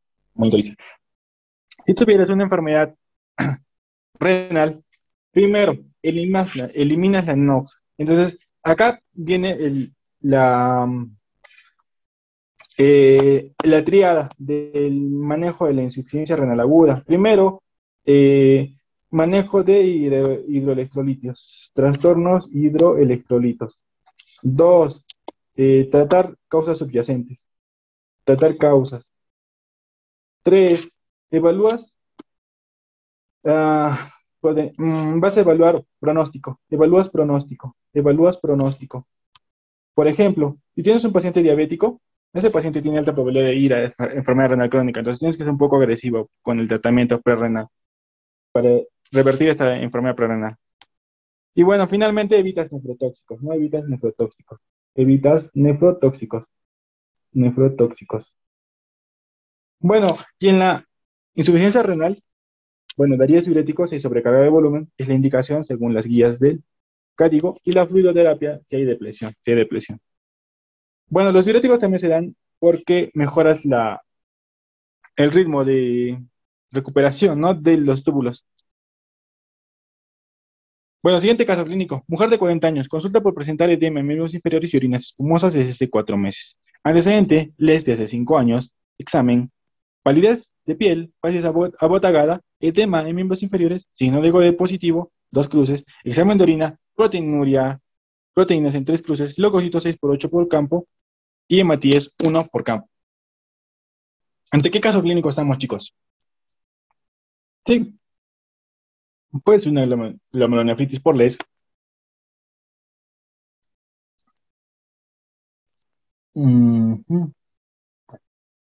Pero ¿qué es importante este paciente, esta paciente? Mujer de 40 años, dice, ¿no? Consulta por presentar edema en miembros inferiores y orinas espumosas. ¿Pero qué tiene desde hace cuatro meses? Ya desde hace cuatro meses. Si tuviéramos una glomerulonefritis por LES, este paciente va a biopsia renal para evaluar que tenga lesiones activas o lesiones de cronicidad. Si tuviera lesiones activas, tratamos el tratamiento, iniciamos el tratamiento agresivo con corticoides, inmunosupresores, ¿no? Pero este paciente tiene cuatro meses. La probabilidad de que tenga una enfermedad renal crónica es alta, ¿ya? Pero igual tiene que ir a biopsia si tuviera una patología. Y bueno, Vayamos a la fisiopatología de la enfermedad renal crónica. Recordemos que es una enfermedad irreversible y progresiva. La etiología más frecuente, diabetes mellitus, 20 a 25%, y después las no diabéticas, ¿no? La vascular y HTA a la cabeza. Puede ser glomerular, IgA o lupus. Bueno, la IgA se caracteriza por una hematuria recurrente macroscópica, que tiene una probabilidad de hacer RC en 10%. El lupus depende de mucho del estadio, ¿no? El estadio 4 es el que te hace mayor enfermedad renal crónica, puede ser que sean muy agresivos. La patología tubulointersticial crónica, por ejemplo, fármacos, un paciente que esté recibiendo AINES crónicamente puede hacer enfermedad crónica, quísticas, la enfermedad poliquística del adulto. Puede ser patología como la enfermedad renal crónica, ¿no? Enfermedad renal crónica. Bien, sí, dice enfermedad renal crónica, más de, más de tres meses, ¿no? Los criterios diagnósticos habla de al menos uno o dos de los dos criterios por al menos tres meses, por al menos tres meses. ¿Cuáles son esos dos criterios, no? Al menos uno, menciona. Una tasa de filtración menos de 60 milímetros por minuto por 1.3 de superficie corporal total, o cualquiera de estos, los siguientes, que serían los, eh, los criterios siguientes, perdón. Albuminuria, anormalidades del seguimiento urinario, anormalidades tubulares o trastornos hidroelectrolíticos crónicos por al menos de tres meses, anormalidades en histología, por ejemplo, tienes un paciente con les, que lesiones de cronicidad, fibrosis en esa biopsia, entonces es un paciente con enfermedad renal crónica porque tiene más de tres meses. Anormalidades estructurales de imagen, por ejemplo, un paciente con enfermedad poliquística de larga data. Y trasplante renal. Todo paciente con trasplante renal se considera como enfermedad renal crónica. Tienes un paciente, entonces lo que primero vas a hacer en todo paciente renal crónico es diagnosticarlo. Después vas a estadiarlo. Y tenemos de acuerdo a los, los estadios de acuerdo a la tasa de filtración glomerular. El estadio 1 es una tasa de filtración glomerular más de 90, no más de 90. ¿Qué podemos encontrar en el estadio 1? Daño y proteinuria. Daño y proteinuria. No vamos a encontrar sintomatología. Podemos encontrar daño. Por ejemplo, proteinuria. El estadio 2, entre 90 y 60, entre 90 y 60, ¿qué es lo que podemos encontrar? Principalmente elevación de paratormona, pero sin clínica. El estadio 2. El estadio 3 ya es menos de 60, menos de 60 de tasa de filtración glomerular. ¿Qué vamos a encontrar? Alteración de la concentración de la orina. Nisturia en estos pacientes. Mala absorción de calcio, disminución de vitamina D, disminución de vitamina D, desnutrición y anemia. Entonces, en el estadio 3 tenemos los característicos, la característica alteración de la concentración, como nicturia, hipovitaminosis D, desnutrición y anemia. En el estadio 3. Estadio 4, menos de 30 de filtración glomerular. En este paciente con menos de 30 de filtración glomerular, encontramos las características hiperfosfatemia, hipocalcemia, hiponatremia y acidosis metabólica. es metabólica. Entonces, si tienes un paciente con estadio 3, tenemos estas alteraciones o complicaciones. Hiperfosforemia, hipocalcemia, hiponatremia y acidosis metabólica. Y bueno, en el estadio 5 ya estaríamos con una hipercalemia y una uremia. hipercalemia y una uremia en el estadio 5, menos de 15. Menos de 15. Complicaciones. Primero, la acidosis metabólica, ¿qué características tiene la acidosis metabólica en el paciente con enfermedad renal crónico? Anion gap elevado, anion gap elevado. Es una enfermedad crónica, entonces tiene un anion gap elevado. Bueno, anemia normocítica normocrónica, por deficiencia de eritropoyetina, por deficiencia de eritropoyetina principalmente. En este paciente vamos a darle suplementos, perdón, eh, hormona, la eritropoyetina, ¿verdad? Pero primero tenemos que controlar el, estado férrico, la ferritina. Una vez que logremos normalizar la ferritina, utilizamos la hidropoyetina. El valor de hemoglobina que, este, que se da en estos pacientes es de 10 a 2. Es nuestro objetivo. No podemos utilizar o no podemos eh, pretender tener una hemoglobina en 14 y 16 porque va a ser causar trombosis en estos pacientes. Entonces, el, objetivo de la hemoglobina en la anemia normocítica, bueno, en anemia por deficiencia de hidropoyetina es entre 10 y 12. Siguiente, hipercalemia. Bueno, es la causa más frecuente de muerte en diálisis, ¿no? Es la causa más frecuente de muerte en diálisis. Siguiente, sangrado. Principalmente por disfunción plaquetaria. Entonces, todo paciente con sangrado, con síndrome urémico, con sangrado, va a diálisis. Es una indicación de diálisis. Y recuerden que el sangrado se da por disfunción plaquetaria. No hay plaquetopenia, hay disfunción plaquetaria. Hipocalcemia, deficiencia de vitamina B, hiperfosfatemia. hiperfosfatemia. ¿Cuándo vas a dar vitamina D? Cuando corrijas el fosfato. Por eso que inicialmente nosotros damos carbonato de calcio. Carbonato de calcio. Y una vez que tú corriges el, la hiperfosfatemia, recién vas a tratamiento con vitamina D. Vas a tratamiento con vitamina D. Siguiente, infecciones, la segunda causa de muerte, la segunda causa de muerte, ¿no? Y bueno, lo siguiente que vamos a encontrar es una osteodistrofia renal. Recordemos que inicialmente tenemos un hiperparatiroidismo secundario. Esto va a generar una alteración y vamos a generar malformaciones óseas, ¿no? Malformaciones óseas en los pacientes con enfermedad renal crónica.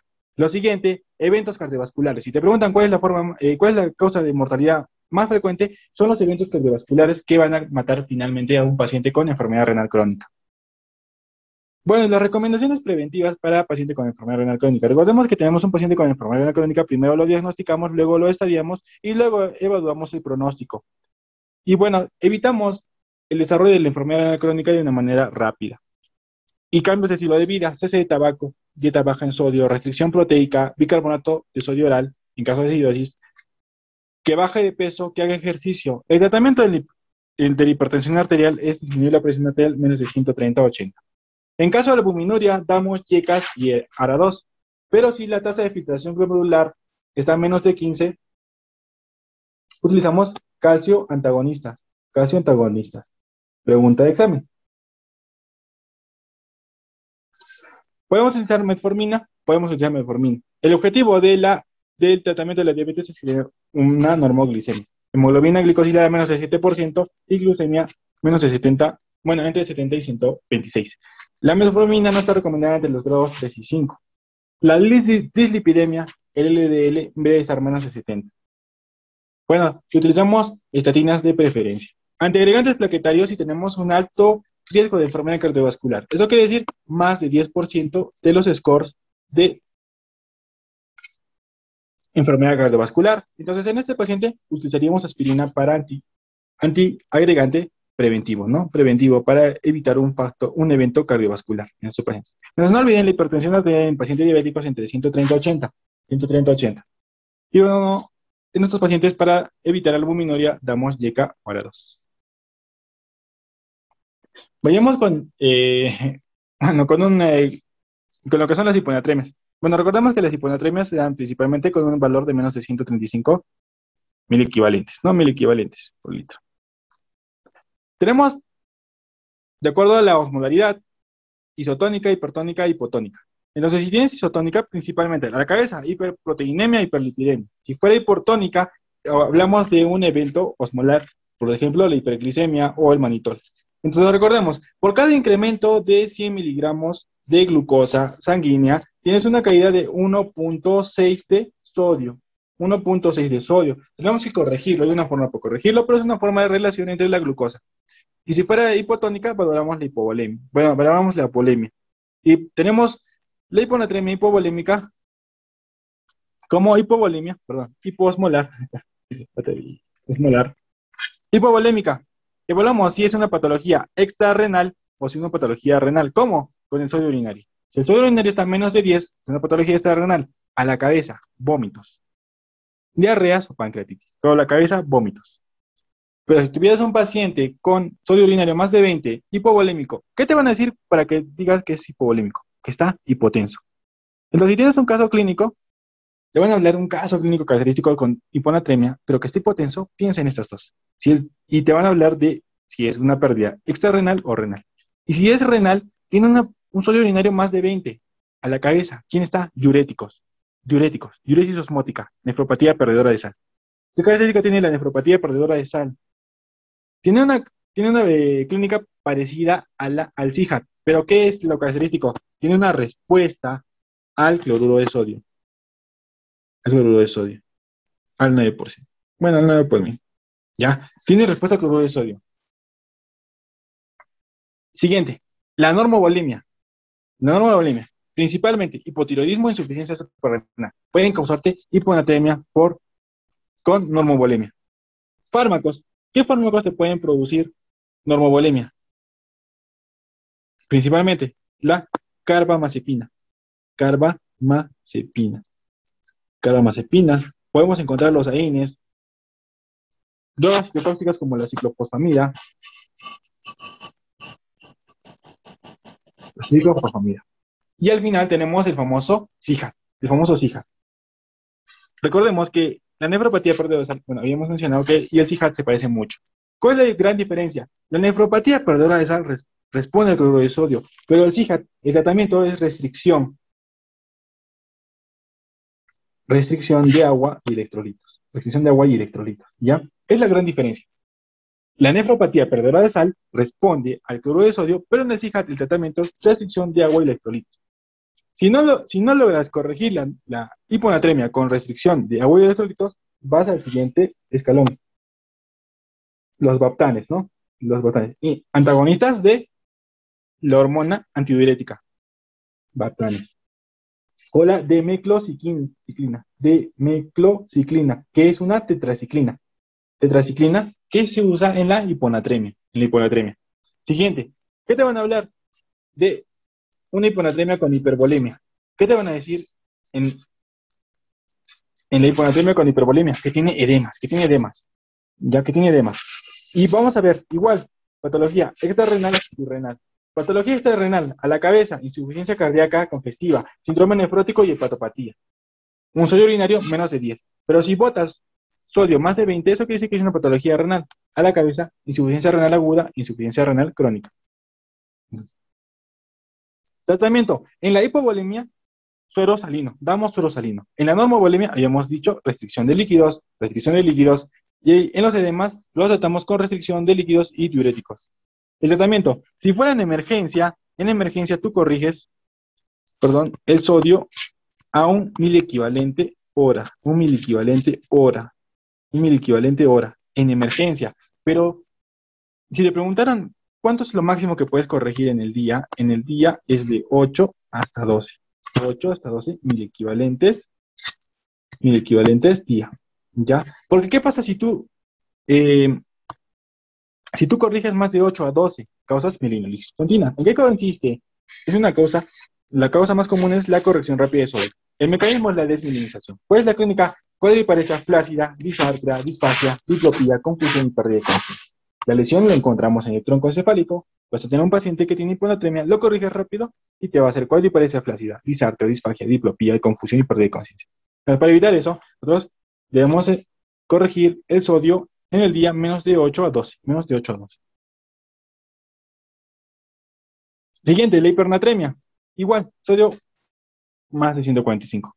Podemos tener la hipovolémica. Dos formas principales. El estado hiperosmolar, unas hiperglucemias hiperglucemias te pueden generar también hipernatremia. O pérdidas digestivas, eh, pérdidas digestivas.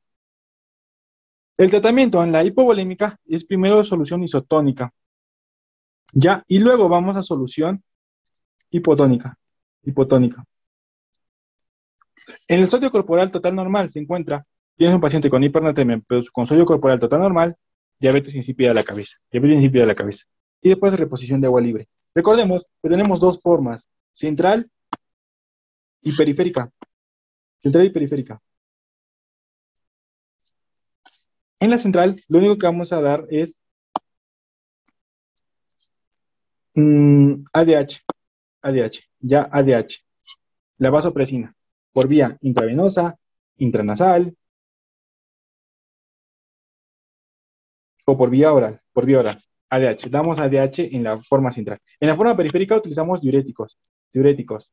¿Y qué diurético te permite eh, botar sodio en mayor cantidad?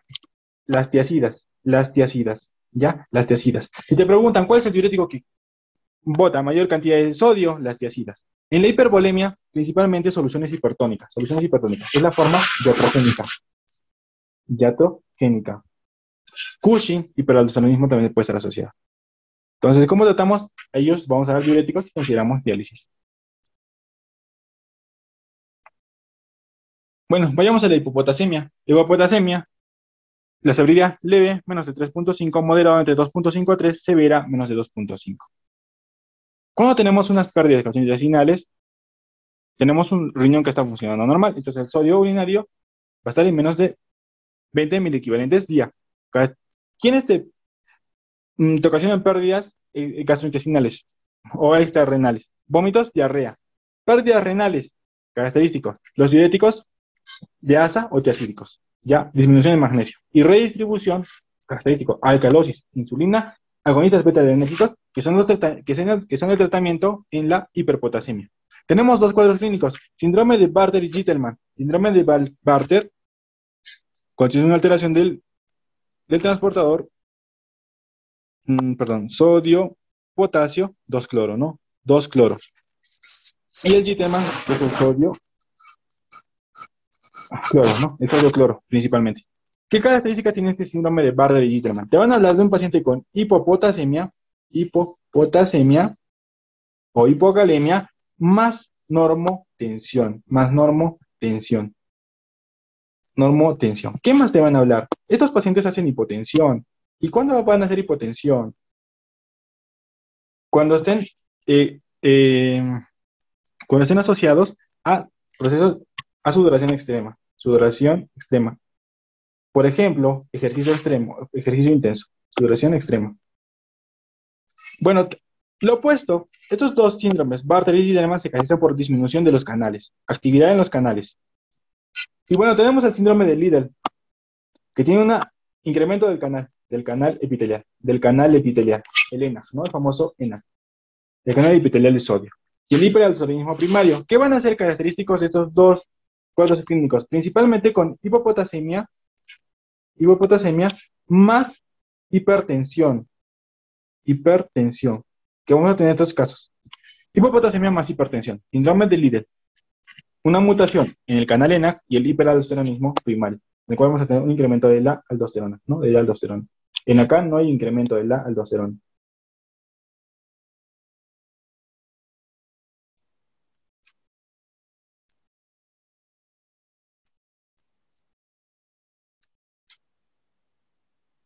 Siguiente.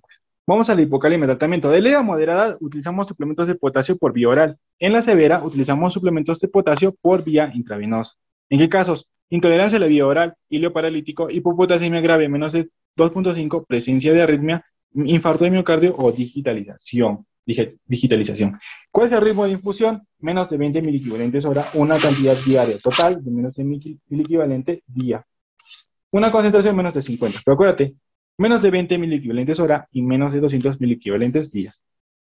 Vamos a la hiperpotasemia. La etiología principal puede ser retención o redistribución. Retención, enfermedad renal o injuria renal, enfermedad renal crónica o injuria renal. Lo siguiente, la enfermedad de Addison puede generarte hiperpotasemia. Recordemos, todas las patologías de, la enfermedad de la glándula suprarrenal que te disminuyan la función van a ser hiperpotasemia. Por ejemplo, en la enfermedad de Addison o el hipoaldosteronismo hiporninémico. La redistribución puede ser la acidosis o la cetocidosis diabética o la acidosis gástrica. En cuanto a la cardiotoxicidad que vamos a encontrar en el EKG, esta es más importante que la hipopotasemia. ¿Por qué? Porque todo paciente con hipopotasemia hace manifestaciones electrocardiográficas. Cuando tienes más de 6.5, incrementas con ondas picudas. Cuando tienes más de 7.000 equivalentes, se pierde la onda P, onda P, se incrementa el PR y se incrementa el QRS. Y bueno, si tienes más de 8, haces arritmias ventriculares y tienes paro cardíaco. ¿En qué? En diástole. En diástole. Ya en diástole. Recuerda que la hipopotasemia se asocia con paro cardíaco, pero con paro cardíaco en sístole. Pero la hiperpotasemia tiene paro cardíaco en diástole. Bueno, siguiente, el tratamiento. Para estabilizar membrana, el efecto inmediato, utilizamos gluconato de calcio, no gluconato de calcio. Para la redistribución de potasio sería intracelular toma más o menos 30 60 minutos de trabajar insulina, 10 unidades más 5 gramos de glucosa. O, y betagonistas, betagonistas. Otra cosa importante, si tienes la glucosa más de 250, ya no utilizas glucosa, solo insulina, ya si tienes más de 200 miligramos de glucosa. ¿Qué otras formas podemos utilizar para tratar hipercalemia? Remover potasio, remover potasio del cuerpo, diuréticos de asa, diurético asa o intercambiador de resinas aniónicas como el excelente. Siguiente, trastornos de ácido base. Tenemos los famosos anion gap. Recordemos que los trastornos de ácido base se caracterizan por tener un pH menos 7.35. Después tenemos que evaluar el evento primario. El evento primario. Y bueno, si tenemos una disminución del bicarbonato, una disminución del bicarbonato, eh, hablamos de un evento metabólico. Y si tenemos un incremento del CO2, hablamos de un evento respiratorio, principalmente. Lo que más ha venido es acidosis metabólica. Y hablamos del anion gap, que lo que nos van a hablar es más o menos la cantidad de aniones no medidos, ¿no? Aniones no medidos. Entonces, si tenemos un anion gap elevado, eso quiere decir que se está produciendo mayor cantidad de ácidos o se están excretando. Si tuvieras un anion gap normal, hay una pérdida de bicarbonato, pérdida de bicarbonato. ¿Qué te incrementa la producción de ácidos? Principalmente la cetosis diabética, la acidosis láctica o la cetosis alcohólica. Disminución de la excreción de ácidos, acidosis urémica. RC o IRA, insuficiencia renal aguda. Anion gap normal con disminución de bicarbonato, pérdidas gastrointestinales principalmente, o pérdidas renales, las famosas. En cuanto a las pérdidas gastrointestinales, la diarrea de la cabeza y las pérdidas renales, las famosas acidosis tubulares renales. Ya tienes el diagnóstico de acidosis metabólica, hace valor si es por una sobreproducción de ácidos o por una pérdida de bicarbonato. Entonces tienes que ver si se compensa. Tienes una fórmula, la, el CO2 esperado, multiplicas 1.5 por el CO2 más 8, y bueno, todo esto más menos 2 de bicarbonato. Entonces evalúas si tienes una compensación adecuada o no adecuada. Pero bueno, a veces te puedes olvidar de la fórmula. Entonces lo eso que está interesante en el CTO. En la acidosis metabólica, por cada caída de bicarbonato, hay una disminución de un milímetro de mercurio de CO2. Por cada caída de mil equivalente de bicarbonato, hay una caída de un mil equivalente de CO2. Y si tienes esa correlación clínica, hablamos de una acidosis metabólica con una respuesta compensadora adecuada. En la alcalosis metabólica es lo opuesto, ¿no? Hay incremento de CO2 y por cada incremento de CO2 hay un incremento de 0.7 milímetros de mercurio de CO2. Perdón, por cada incremento de bicarbonato, perdón, hay un incremento de 0.7 milímetros de mercurio de CO2. La acidosis respiratoria tiene una compensación de por cada 10 milímetros de mercurio de CO2 hay un incremento de bicarbonato en 1 en en agudas y en las crónicas de 3 a 4. Y la alcalosis respiratoria, por cada caída de 10 milímetros de mercurio de CO2, hay un incremento o una caída, perdón, de CO2 de 2.5 para las agudas y de 5 para las crónicas. Acidosis tubulares renales. La de tipo distal, la de tipo distal. O la de tipo 1, ¿no? La de tipo 1. La acidosis renal tipo 2, perdón, tipo 1 o distal se caracteriza principalmente por estar asociada mm, se me fue el nombre. Mm, a litio, principalmente. Litio, patologías crónicas. Se me fue el nombre.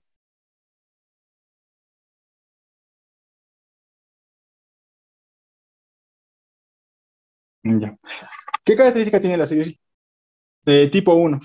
Esa es una, patología en la cual hay una mm, ausencia de secreción de hidrogeniones. Tienes un paciente con acidosis, perdón, acidosis, y no puedes secretar hidrogeniones. ¿Qué característica más tiene? Se asocia a litiasis precoz, a litiasis precoz, precoz, nefrocalcinosis, nefrocalcinosis. Después tiene la acidosis tubular renal tipo 2. O la proximal, ¿no? La proximal o tipo 2. La de tipo 2 o proximal. ¿A qué patología es asociado? Este es asociado al Fanconi, al Fanconi, acuérdate del Fanconi, ¿no?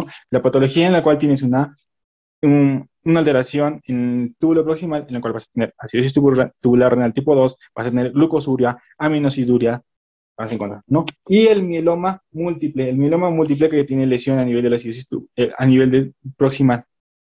Del, Entonces, este paciente tiene incapacidad de reabsorción de bicarbonato, de bicarbonato, ya reabsorción de bicarbonato. A diferencia de la acidosis renal tipo 1 distal, esta no se asocia a litiasis, no se asocia a litiasis, no tiene litiasis precoz, no tiene litiasis precoz, ni nefrocalcinosis, ni nefrocalcinosis. Bueno, tenemos la acidosis tubular renal tipo 4, tipo 4, o hiporreninémica.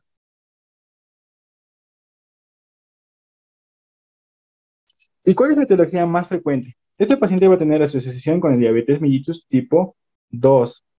Ya es ah, cualquier tipo de diabetes que te, que te afecte el túbulo distal va a tener una diabetes hiporninémica. Entonces tienes la etiología de la diabetes tipo 2 o tubulopatías, tubulopatías intersticiales, intersticiales, ¿ya? Intersticial. Bueno, eso en cuanto a, la, a los trastornos ácido-base. Vayamos al siguiente. Bueno, unos casos clínicos para reforzar algunos casos que no se han tomado. Adolescente de 15 años, presente edema con antecedente de haber sido tratada con rifampicina y. Durante dos semanas se diagnostica síndrome nefrótico. La biopsia renal detectó enfermedad de cambios mínimos. La probable etiología es... Bien. ya. Ahora, em, esta es una pregunta mal formulada porque te habla de, te dice enfermedad de cambios mínimos. La etiología más frecuente de enfermedad de cambios mínimos es la idiopatía, ¿ya? Pero este paciente puede tener también nefritis intersticial inducida por AINES, ¿ya? Y vamos a analizar, si viniera el caso clínico, de por qué podría ser una nefritis intersticial inducida por AINES. Tienes un paciente que está tomando beta-lactámicos, AINES, rifampicina o quinolonas, ¿ya? Y después del del consumo de este beta-lactámico o bueno, estos fármacos, desarrolla falla renal aguda o subaguda. ¿Qué más va a ser? Va a ser clínica extrarrenal, eosinofiluria, eosinofilia, rash, fiebre, artralgias, artralgias y dolor lumbar alto. Ya tienes un paciente que va a ser falla renal y patología extrarrenal, patología extrarrenal. Eosinofilia, eosinofilia, rash, fiebre, artralgias y al, dolor lumbar alto, asociada a la insuficiencia renal aguda. ¿Qué vamos a encontrar en la orina? podemos encontrar hematuria microscópica con proteinuria moderada, eosinofiluria y leucocituria estéril. Recuerden, el volumen debe estar conservado. Entonces, acuérdate, tienes un paciente que le van a dar estos medicamentos, beta-lactámicos, AINES, rifampicina. Va a tener falla renal, más clínica extrarrenal, eosinofiluria, sinofilia, rash, fiebre, artralgias y dolor lumbar alto, asociado a la falla renal. Y bueno, el tratamiento es la retirada del fármaco y el tratamiento con corticoides.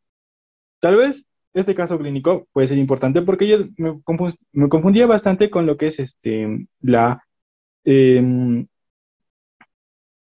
se me fue el nombre. De la púrpura de Genos No se parece un poco. Pero recuerden que la Degenolon es un proceso idiopático. Este paciente con eh, enfermedad con nefritis intersticial aguda tiene antecedente de consumo de estos fármacos y tiene falla renal y patología renal. No, clínica renal, osinofilia, rash, fiebre, dolor lumbar alto. Veamos el siguiente caso. ¿Cuál es la complicación del síndrome nefrótico? A, tromboembolismo, B, hemorragia cerebral, C, aneurisma de aorta, D, hipertensión arterial e hematuria. Bien, chicos, la tromboembolismo, ¿no? Tromboembolismo. Desarrollamos unas complicaciones que encontrarles patologías vasculares. Mm, ¿Qué pueden ser mm, eh, preguntas? Tromboembolismo de la arteria renal. ¿Qué pacientes te van a presentar si tienen un tromboembolismo de la arteria renal? Un paciente con hipotensión, que te van a decir que está en shock, o tiene embolia por fibrilación auricular. ¿Qué va a presentar en la clínica? Dolor lumbar intenso, cólico, elevación del LDH, hipertensión y fiebre. Tromboembolismo de la arteria renal. En el sedimento urinario podemos encontrar hematuria, proteinuria, pero esto, la función renal está normal.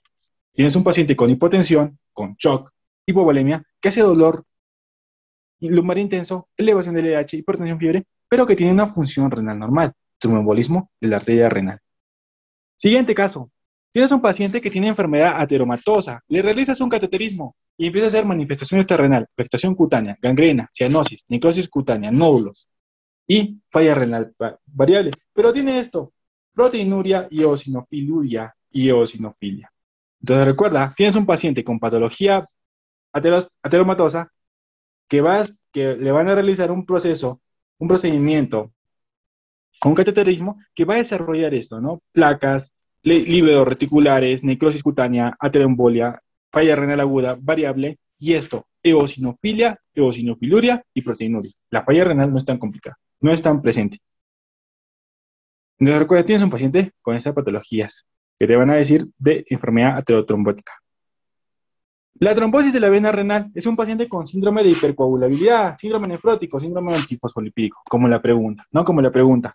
En los niños presenta dolor cólico, hematuria y proteinuria intensa. En los adultos puede ser insidiosa, pero se caracteriza por falla renal aguda, acompañada de alteraciones de sedimento. Los niños son pacientes con síndrome de hipercoagulabilidad, nefrótico, antifosfolipídico, que los niños usualmente hacen dolor cólico, hematuria, proteinuria intensa, pero en los adultos tiene, es insidioso y está acompañado de falla renal aguda. Son estas, estas tres formas de patología vascular en cuanto a nefro. ¿Ya, chicos? Bueno, entonces eso es todo